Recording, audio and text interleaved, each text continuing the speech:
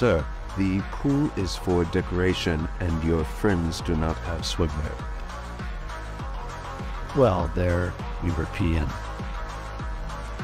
I'm going to have to ask you to leave. It is not a question of money. You see, I'm buying this hotel and uh, setting some new rules about the pool area.